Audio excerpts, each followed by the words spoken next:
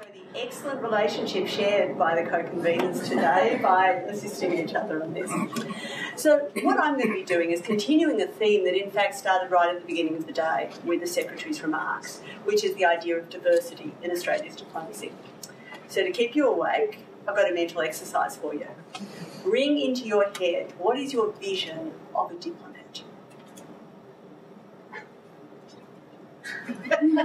Something like that? Okay, so this fine gentleman is Sir Henry Mortimer Durand, who has the Durand line between Pakistan and Afghanistan. Um, this may be your mental image.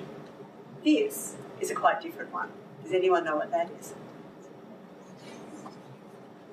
That's all our heads of mission around the world at the moment. So this is our ambassadors and high commissioners representing us overseas. That's a little bit more diverse than my first image. So my presentation is going to talk about the case for diversity in diplomacy. I'm going to look a little bit at how Australia rates internationally, and then I'm going to spend most of my time looking at a case study of DFAT's uh, Indigenous Recruitment and Career Development Strategy, which I'll probably shorten it to Indigenous Strategy most of the time. Um, I think it's an example of a sustained effort to increase diversity in diplomacy um, it's very unusual in world terms and I think offers a lot of useful lessons for others. Um, I've been working closely with DFAT uh, on this and I really thank them for giving me access to the information I'll be presenting and I'd like to thank Susie Wilson and Jill Collins for all their help in that process. So, the case for diversity is pretty simple. Two bases. One, function, another, representation. So, the functional one is that diverse organisations perform better. Okay, and we can see that in lots and lots of different uh, uh, Um, they're more productive, they're more innovative. There are reasons why you would want more diverse organisations. Particularly for diplomacy, there's an argument about representation. That this is a key institution of Australian society, and if we want people in society to have respect for this, to see it as having legitimacy, then we have to make sure that it broadly represents the population. And I think that argument's strong, particularly with diplomacy, where we're talking the literal face of your country abroad. You want the diversity of your society to be represented. So if we're looking at DFAT, how does it rate? As I said, you can see from this, it is pretty good. And if you were going to tell somebody in DFAT 50 years ago that DFAT would look like this, they would have been very surprised. So we're thinking 50 years ago, we still had the marriage bar. Um, women who, for younger people in the audience, women had to resign on marriage. And if you think that feels like ancient history, we've had people in the room here today who were affected by that in their careers. Uh, if you look at the gender diversity side, Australia rates very well, I think, in its female participation. So what you're seeing there is, I suppose, where we want to be broadly in a group of similar um, nations. Um, now, as the Secretary said this morning, uh, women have been entering DFAT in similar numbers since 1985. Women are now 57% of DFAT staff, but they are still underrepresented at, at senior level.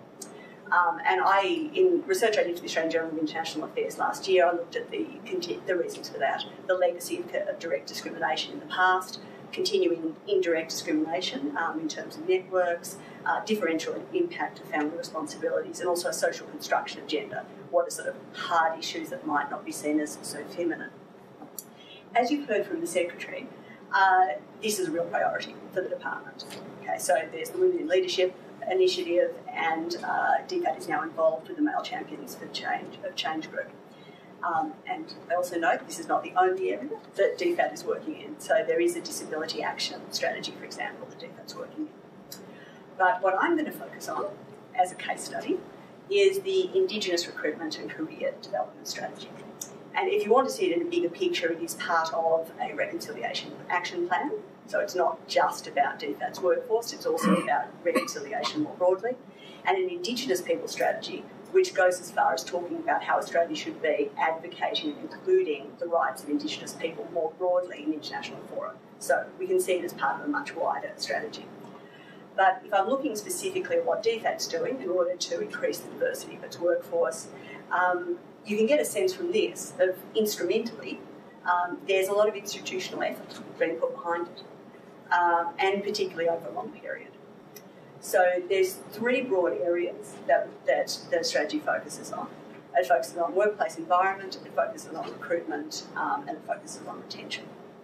So, in terms of workplace environment, it's about having a comfortable and welcoming work environment, supporting Indigenous employees, observing cultural protocols, recognising cultural days of significance, and using inclusive language. In terms of recruitment, it's advertising strongly to Indigenous applicants, and that means using Indigenous media and accessible language. It's targeted recruitment of particular um, Indigenous cadets, trainees, and graduates into the system and then a special effort put into lateral recruiting of Indigenous uh, people from other parts of the public service. And then in terms of retention, the strategy states that there will be real effort put into providing career pathways for Indigenous employees to try to make sure that they are retained. Uh, that's things like mentoring. Um, there are identified positions uh, for example, in public diplomacy, um, uh, positioning to the Torres Strait issues, where the job impacts strongly on Indigenous issues or requires interaction with Indigenous um, communities. They don't have to be filled by Indigenous applicants, but the uh, competencies are very much taken into account in filling those positions. So that's in a nutshell what's been done. So the questions I looked at was what's been achieved, what are the challenges, and what can be learned from this in terms of diversity more generally. In terms of the achievements, there's some really high profile ones. So, you know, first Indigenous ambassador representing Australia overseas. That's a headline. And um, it's a particularly good one because he's gone the whole way through the program. So he came in as a cadet and then went to be an Indigenous graduate and then worked the whole way through the program and now he's an ambassador to Denmark. I hope he's having a nice time. Um, also, for people inside the system, perhaps you know there was the sound of a glass ceiling breaking when Julianne Bavaro was appointed as the first Indigenous senior executive service officer. Um, I think, though, I mean, they're the big stories, but in some ways, the, the, the bigger story is the number of staff across the organisation. So we're looking from 1993 to now, we've gone from 20 Indigenous officers up to 70%, 70 Indigenous employees in DFAT, which comes to about 2% of, of staff. And a large proportion of those are serving and representing Australia overseas. And my perspective, we, we're still working on getting all of the data for it, but internationally, I think these are superb results. I think there are very, very few foreign services in the world who could boast anything like this. I'm certainly been very surprised by looking, say, at the US, where I think they have nothing of nearly of the quality as you're seeing here. So, as a researcher, not just a PR outfit, I wanted then to assess well how how do we feel that the the uh, the strategy has dealt with some of the potential challenges, and the same ones I identified for gender diversity also apply here. So there's a potential for all of these to apply. Now, in terms of direct discrimination, um, we didn't find any direct discrimination, um, and that's good. I think I expected to.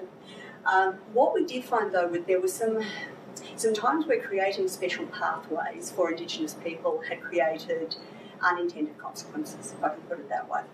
So uh, you create an Indigenous cadet program which goes straight into an Indigenous graduate program, because that's a wonderful pathway.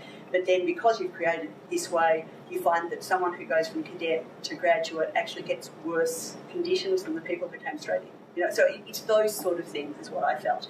Um, those really are legacy issues, as far as I can tell. Where they've been identified, they've been fixed, and they're in a way, you know, they're they're about the the fact that creating different pathways for Indigenous people can have these unintended consequences.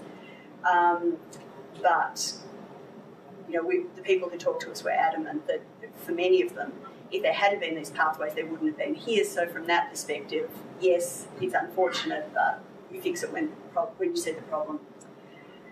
Um, I, there's also some things that are, you know, currently I think being worked on. Things like trying to improve pathways for Indigenous trainees who come in at as I understand an APS 2 level where there are not many positions for them, and so, again, more has to be done.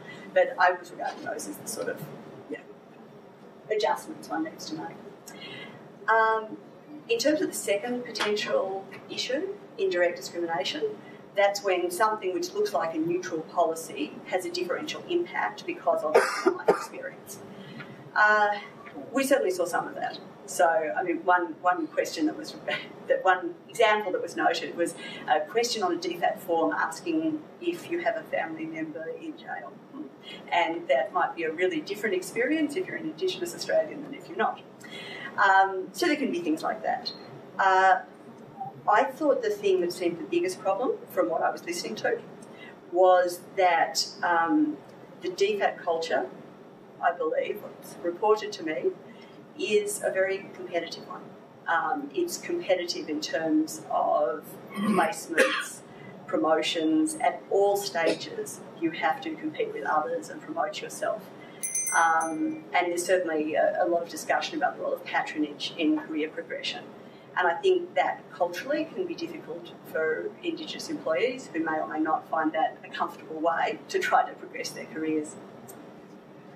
Uh, not surprisingly, we found that there was some impact of family and cultural responsibilities. Um, as the Secretary talked about today, family responsibilities are an issue for everybody.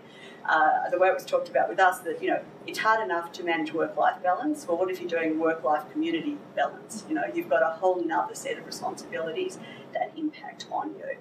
Um, and some of the people, one of the person we spoke to reported, you know, actual pressure from his community. Why aren't you here? You've got a role in the community. You're needed here. What are you doing there? And DFAT takes you far, far away from your local community. So I think there are some of those pressures. And then lastly, and again this was similar when I was looking at gender diversity, um, you know, there's a real potential challenge about social constructs, about those unconscious ideas we have in our head about what a foreign policy officer should look like. Uh, and there is a tendency in all places, in all times, for people to promote people who resemble them in some way. Okay. And I think that's just something one has to work with. Um, some of the Indigenous employees we talked to reported that they wanted more recognition of the, um, you know, the skills and experience that they bring to DFAT, that the cultural competencies they have are actually very valuable and might be overlooked uh, sometimes. Um, and they definitely reported in some cases that they had to contend with lower expectations um, of them, of their work. That you can have a self-fulfilling prophecy that if you think the you know, Indigenous person who has just been assigned to you can't do the harder task and you don't give them to them, well, how do you ever find out? Um, if I'm being fair, I would have been surprised if we hadn't seen some of that. Um, every workplace in Australia is a reflection of the wider community, and the wider community has had very negative stereotypes for some time. So, one of the things I think one has to deal with there is how do you help bring out those unconscious biases? How do you help change the culture? And I see a lot in what DFAT's doing that achieves that. So there are certainly constraints um, in dealing with these problems. Uh, I, I, think from what I saw, people who are running the program are very aware of all of these issues. Uh, there are some necessary constraints, things like resource constraints and if you talk about, what is it, 19 years of resource cuts now, something like that, that's going to impact on what you can do, even if you have the best policy in the world. Uh, I think we saw very clearly that implementation is harder than strategy. Uh, if you read the strategy on paper, it's magnificent, and I don't think I could think of anything to make it better. But how do you then turn that into something in practice? So there were particular elements, things like mentoring, which were fantastic in theory, but did they always happen in practice? yeah, often not, and that, that's then very difficult for people. Um, we saw very clearly that retention is harder than recruitment, um, and uh, it's very nice to see just what a very marketable quantity all of the wonderful Indigenous uh, officers are. Um, all the other APS uh, departments have their own targets to meet as well. So there's a real sense that you know, the Indigenous staff here can be very, you know, very attractive, can be given great offers.